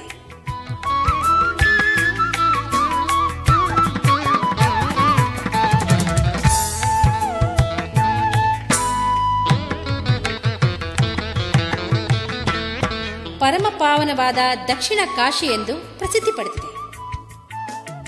ಮುಂದೆ ನಾವು ಹೊರನಾಡು ಕ್ಷೇತ್ರಕ್ಕೆ ಹೋಗೋಣವೆ.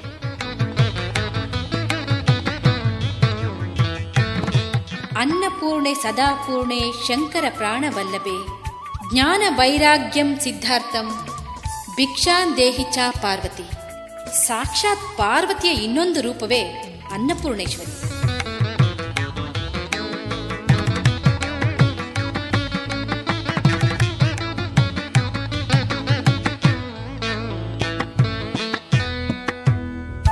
ಪರಶಿವನು ಬ್ರಹ್ಮನ ನಾಲ್ಕು ಮುಖದಲ್ಲಿ ಒಂದು ಮುಖವನ್ನು ಶಂಕರನು ಕಿತ್ತು ಬಿಟ್ಟನು ಆಗ ಬ್ರಹ್ಮನು ಶಿವನಿಗೆ ಶಾಪ ಕೊಟ್ಟ. ಈ ಮುಖವು ಬ್ರಹ್ಮಕಪಾಲವಾಗಿ ಇದರಲ್ಲಿ ಭಿಕ್ಷೆ ಬೇಡಿ ನಿನ್ನ ಜೀವನ ಸಾಗಲಿ ಎಂದು ಶಾಪ ಕೊಟ್ಟನು. ಈ ಕಪಾಲವು ಎಂದು ತುಂಬುವುದೋ ಅಂದು ಈ ಶಾಪ ತೀರುವುದು ಎಂದನು ಬ್ರಹ್ಮನು.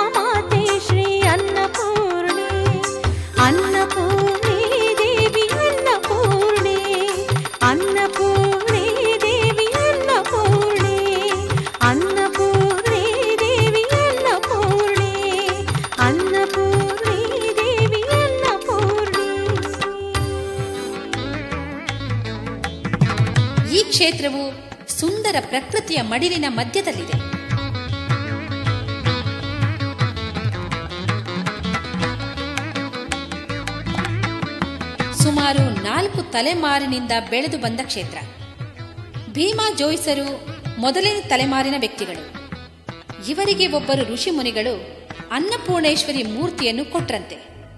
ಅವರು ಅದನ್ನು ತಂದು ಅವರ ಧರ್ಮಪತ್ನಿಯವರಿಗೆ ತೋರಿಸಿ ಅದಕ್ಕೊಂದು ಚಿಕ್ಕ ಗುಡಿಸಲನ್ನ ಕಟ್ಟಿ ಅದರಲ್ಲಿ ಅನ್ನಪೂರ್ಣೇಶ್ವರಿಯ ಮೂರ್ತಿಯನ್ನು ಇಟ್ಟು ಪೂಜೆ ಮಾಡಿದರು.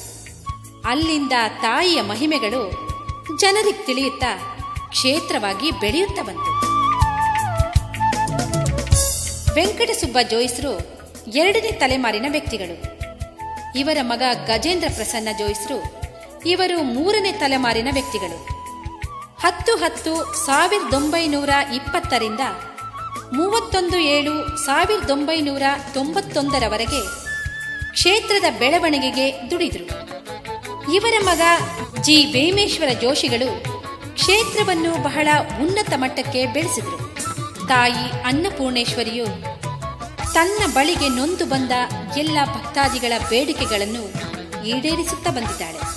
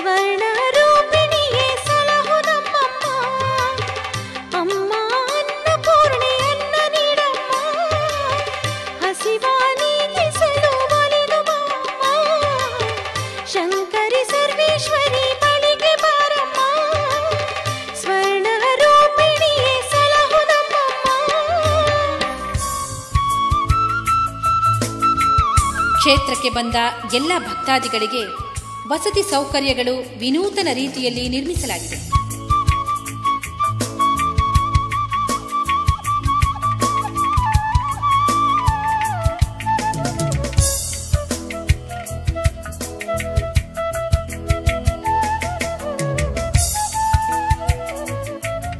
ಇಲ್ಲಿ ಅನ್ನಪೂರ್ಣೇಶ್ವರಿಯ ಭೋಜನ ಶಾಲೆ ಎಲ್ಲ ಭಕ್ತಾದಿಗಳಿಗೆ ರುಚಿಕರವಾಗಿ ಪ್ರತಿದಿನ ಬೆಳಗ್ಗೆ, ಮಧ್ಯಾಹ್ನ, ರಾತ್ರಿ ಊಟದ ವ್ಯವಸ್ಥೆ ಮಾಡಿದೆ.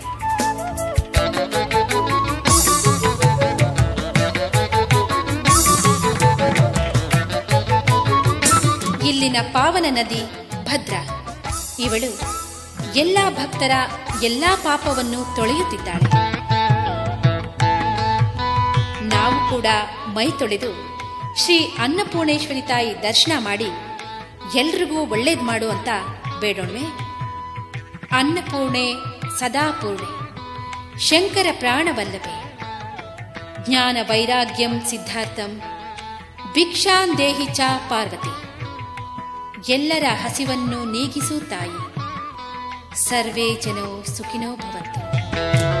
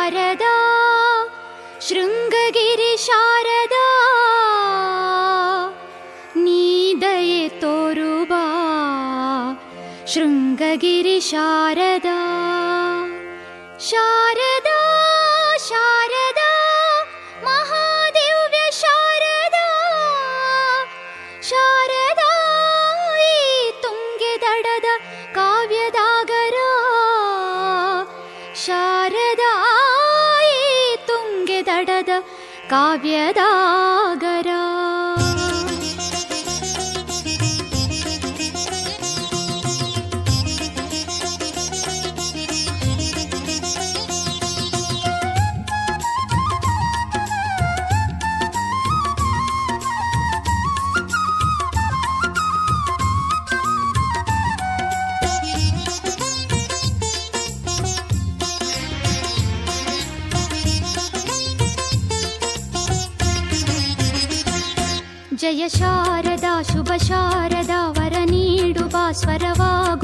ಸಿರಿ ಶಾರದಾ ನಲಿದಾಡಿ ಬಾ ಒಲಿದೋಡಿ ಬಾ, ಗೆಲುವಾಗಿ ಬಾ, ನೀ ನೋಡಿಸು ಕತ್ತಲ ದೂರ. ಜಯ ಶಾರದಾ, ಶುಭ ಶಾರದಾ, ವರ ನೀಡುವ ಸ್ವರವಾಗುವ ಸಿರಿ ಶಾರದಾ.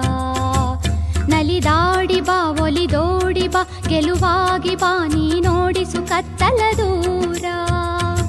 ಸವಿಗಾನದ ಸುದೆ ತೋರಿಸು, ಶ್ರುತಿಯಾಗಿ ಪಾಲಿಸು ಸ್ಥಿರವಾಗಿಸು ತಾಯಾಗಿ ಜಯ ಶಾರದಾ, ಶುಭ ಶಾರದಾ, ವರ ನೀಡುವ, ಸ್ವರವಾಗುವ ಸಿರಿ ಶಾರದಾ. ನಲಿದಾಡಿ ಬಾ ಒಲಿದೋಡಿ ಬಾ ಗೆಲುವಾಗಿ ಬಾ ನೀ ನೋಡಿಸು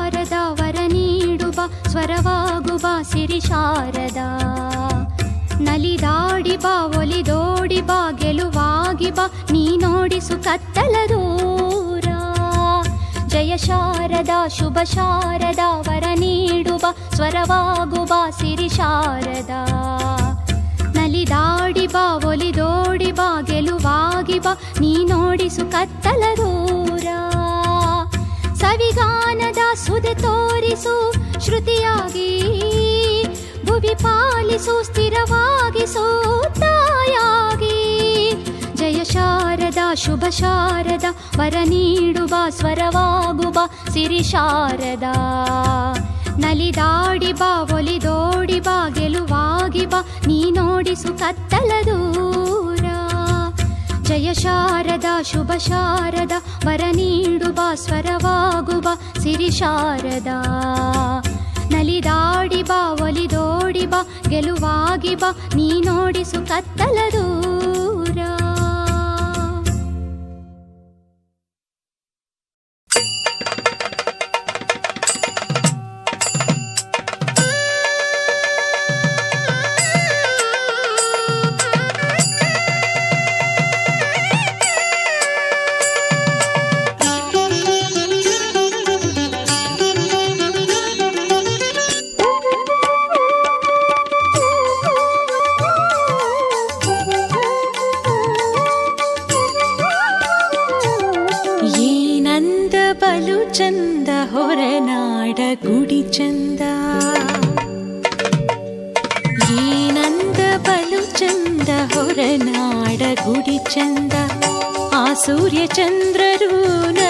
ನುಡಿಯುವರು ಮುದರಿಂದ ಆ ಸೂರ್ಯ ಚಂದ್ರರು ನಮಿಸುವರು ಮುದದಿಂದ ಈ ನಂದ ಬಲು ಚಂದ ಹೊರನಾಡ ಗುಡಿ ಚಂದ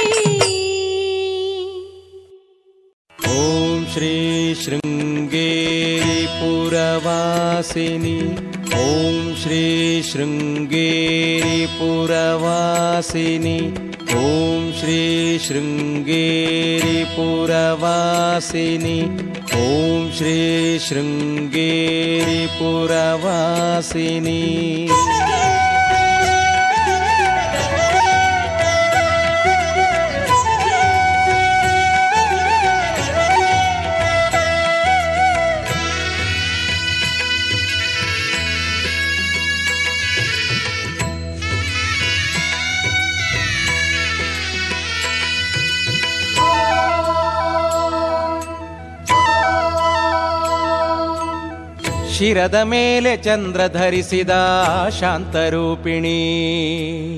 ನುಡಿವ ಶುಕವ ಕರದಿ ಹಿಡಿದ ಶುಕ ಭಾಷಿಣಿ ಶಿರದ ಮೇಲೆ ಚಂದ್ರ ಧರಿಸಿದ ಶಾಂತರೂಪಿಣಿ. ನುಡಿವ ಶುಕವ ಕರದಿ ಹಿಡಿದ ಶುಕ ಭಾಷಿಣಿ ಶ್ರೀಚಕ್ರದಿ ನೆಲೆಸಿರುವ ಶ್ರೀ ಶಾರದೆ ಶ್ರೀಚಕ್ರದಿ ನೆಲೆಸಿರುವ ಶ್ರೀ ಶಾರದೆ, ಶಿರದ ಮೇಲೆ ಚಂದ್ರ ಧರಿಸಿದ ಶಾಂತರೂಪಿಣಿ, ನುಡಿವ ಶುಕವ ಕರದಿ ಹಿಡಿದ ಶುಕ ಭಾಷಿಣಿ ನಾದರೂಪಿಣಿ ಗೀರ್ವಾಣಿ, ವೇದರೂಪಿಣಿ ಕೀರ್ವಾಣಿ ನಾದರೂಪಿಣಿ ಗೀರ್ವಾಣಿ ವೇದರೂಪಿಣಿ ಕೀರ್ವಾಣಿ ಶಿರದ ಮೇಲೆ ಚಂದ್ರ ಧರಿಸಿದ ಶಾಂತರೂಪಿಣಿ ನುಡಿವ ಶುಕವ ಕರದಿ ಹಿಡಿದ ಶುಕ ಭಾಷಿಣಿ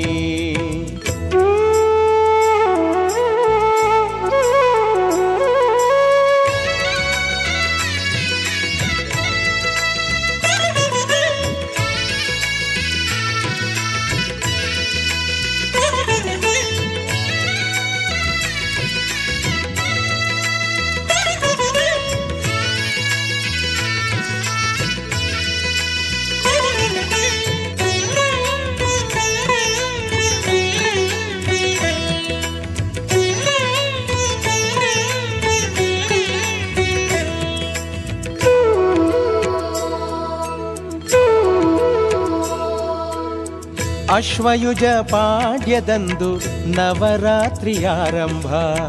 ಹಂಸವಾಹಿನಿಯಾಗಿ ಬ್ರಾಹ್ಮಿಣೀನಾಗುವೆ. ಮಾಹೇಶ್ವರಿ ಕೌಮಾರಿ ವೃಷಭ ಮಯೂರವೇರಿ ವಿಷ್ಣು ರೂಪಿ ವೈಷ್ಣವಿ, ನಿನ್ನ ರೂಪ ಸಿರಿಭಾರಿ. ಗಜಲಕ್ಷ್ಮಿ ಶ್ರೀರಾಜರಾಜೇಶ್ವರಿ. ಇಂದ್ರಾಣಿ ಭುವನೇಶ್ವರಿ ಜಗನ್ಮೋಹಿನಿ, ಶಿರಬಾಗುವೆ ನಿನಗಾಗಿ, ವರಬೇಡುವೆ ಜಗಗಾಗಿ, ಶಿರಬಾಗುವೆ ನಿನಗಾಗಿ, ವರಬೇಡುವೆ ಜಗಕ್ಕಾಗಿ. ಶೃಂಗೇರಿಯ ಪುರದೇವಿ ಸಂಗೀತದಾದಿದೇವಿ ಶೃಂಗೇರಿಯ ಪುರದೇವಿ ಸಂಗೀತದಾದಿದೇವಿ. ಶಿರದ ಮೇಲೆ ಚಂದ್ರ ಧರಿಸಿದ ಶಾಂತರೂಪಿಣಿ. ನುಡಿವ ಶುಕವ ಕರದಿ ಹಿಡಿದ ಶುಕ ಭಾಷಿಣಿ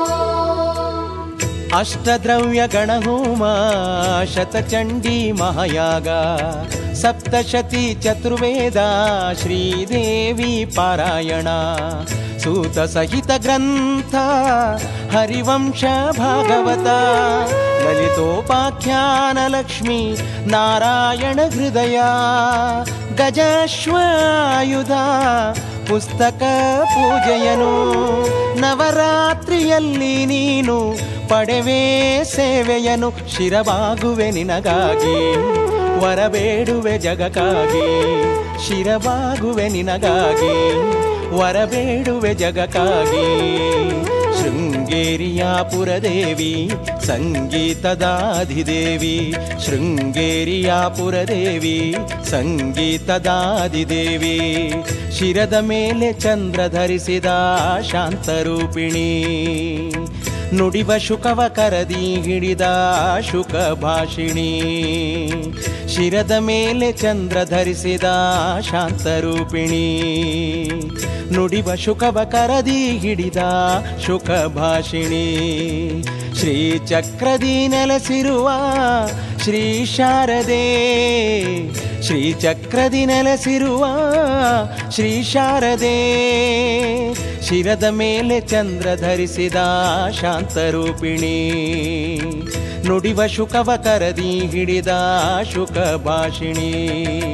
ನಾದರೂಪಿಣಿ ಗೀರ್ವಾಣಿ, ವೇದರೂಪಿಣಿ ಗೀರ್ವಾಣಿ, ನಾದರೂಪಿಣಿ ಗೀರ್ವಾಣಿ, ವೇದರೂಪಿಣಿ ಗೀರ್ವಾಣಿ, ನಾದರೂಪಿಣಿ ಗೀರ್ವಾಣಿ, ವೇದರೂಪಿಣಿ ಗೀರ್ವಾಣಿ, ನಾದರೂಪಿಣಿ ಗೀರ್ವಾಣಿ, ವೇದರೂಪಿಣಿ ಗೀರ್ವಾಣಿ.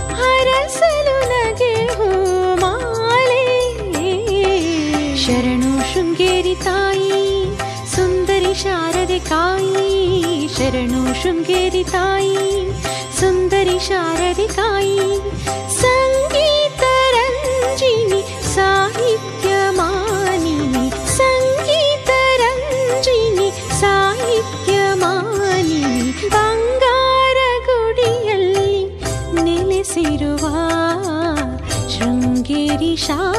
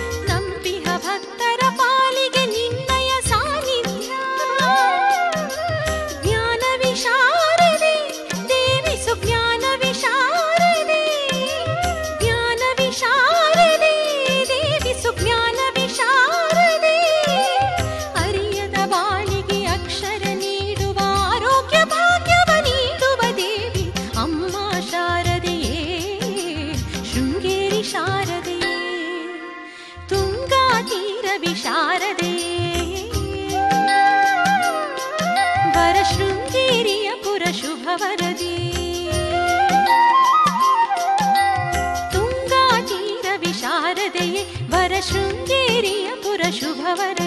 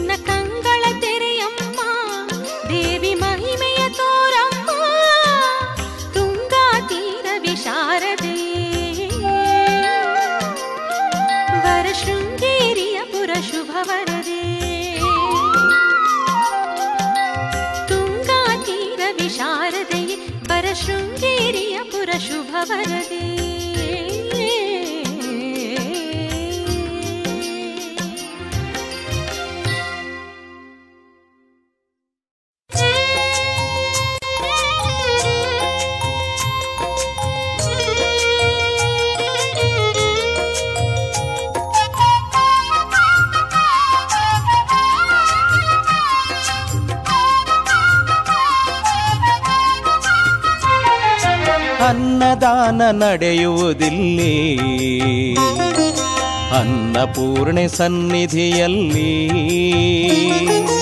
ಅನ್ನದಾನ ನಡೆಯುವುದಿಲ್ಲಿ. ಅನ್ನಪೂರ್ಣೆ ಸನ್ನಿಧಿಯಲ್ಲಿ ಅನ್ನದಾನ ನಡೆಯುವುದಿಲ್ಲಿ. ಹಸಿವಿಗಿಲ್ಲಿ ನೆಲೆಯೇ ಇಲ್ಲ. ಹಸಿವಿಗಿಲ್ಲಿ ನೆಲೆಯೇ ಇಲ್ಲ. ಅನವರತ ಅನ್ನವಿದೆಯಲ್ಲ ಅನ್ನದಾನ ನಡೆಯುವುದಿಲ್ಲಿ. ಅನ್ನಪೂರ್ಣೆ ಸನ್ನಿಧಿಯಲ್ಲಿ.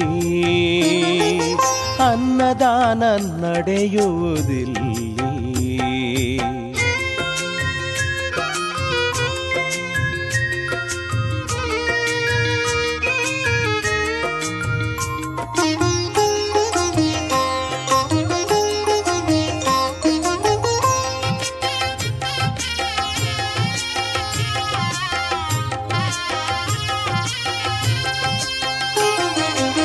ಶಿವಗೆ ಅನ್ನ ನೀಡಿದ ದಿವ್ಯ ಮಾತೆ ಎನಿಸಿದ ನಿತ್ಯ ಹರಿದ್ವರ್ಣವನದ ಹೊರನಾಡಲಿ ನೆಲೆಸಿದ ಶಿವಗೆ ಅನ್ನ ನೀಡಿದ ದಿವ್ಯ ಮಾತೆ ಎನಿಸಿದ, ಅಣು ಅಣುವಲು ಪಾಲಿಸುತ್ತ, ಜಗಜ್ಜನನಿ ಎನಿಸಿದ.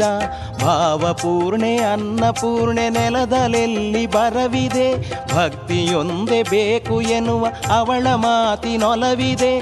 ಗಾಳಿಯಲು ನೀರಿನಲು ಅಮ್ಮನು ಸಿರ ಹಾಡಿದೆ ಅಂಗೈ ಧ್ಯಾನದ ಚಿಹ್ನೆ ಇಲ್ಲಿ ಎಲ್ಲರಲ್ಲಿದೆ. ಅನ್ನದಾನ ನಡೆಯುವುದಿಲ್ಲಿ. ಅನ್ನಪೂರ್ಣೆ ಸನ್ನಿಧಿಯಲ್ಲಿ ಅನ್ನದಾನ ನಡೆಯುವುದಿಲ್ಲಿ.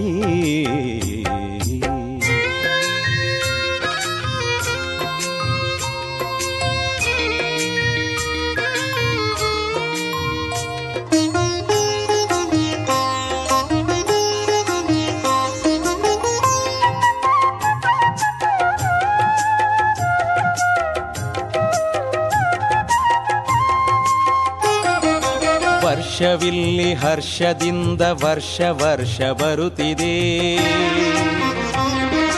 ಗಿರಿಗರ್ಭದ ನೀರಿನೊರತೆ ಭದ್ರೆಯನ್ನು ಬೆರೆತಿದೆ. ಅನ್ನಪೂರ್ಣೆ ದಯೆಯಿಂದ ಪೈರು ಫಸಲು ನಗುತ್ತಿದೆ. ಎಲ್ಲ ಬಕುತ ರಾಮನದಿ ಮಾನವತೆ ನೆಲೆಸಿದೆ. ಅನ್ನದಾನವಿಲ್ಲಿ ಕಂಡು ದೇವತೆಗಳು ತಾವೇ ಬಂದು ಜಯವೆನುವರು ಎಂಬ ಮಾತು ಎಲ್ಲರಲ್ಲಿದೆ. ಅನ್ನದಾನ ನಡೆಯುವುದಿಲ್ಲಿ, ಇಲ್ಲಿ ಅನ್ನಪೂರ್ಣೆ ಸನ್ನಿಧಿಯಲ್ಲಿ ಅನ್ನದಾನ ನಡೆಯುವುದಿಲ್ಲಿ, ಅನ್ನಪೂರ್ಣೆ ಸನ್ನಿಧಿಯಲ್ಲಿ ಅನ್ನದಾನ ನಡೆಯುವುದಿಲ್ಲಿ. ಹಸಿವಿಗಿಲ್ಲಿ ನೆಲೆಯೇ ಇಲ್ಲ ಇಲ್ಲ. ಹಸಿವಿಗಿಲ್ಲಿ ನೆಲೆಯೇ ಇಲ್ಲ. ಅನವರತ ಅನ್ನವಿದೆಯಲ್ಲ, ಅನ್ನದಾನ ನಡೆಯುವುದಿಲ್ಲಿ. ಅನ್ನಪೂರ್ಣೆ ಸನ್ನಿಧಿಯಲ್ಲಿ. ಅನ್ನದಾನ ನಡೆಯುವುದಿಲ್ಲಿ ಿ.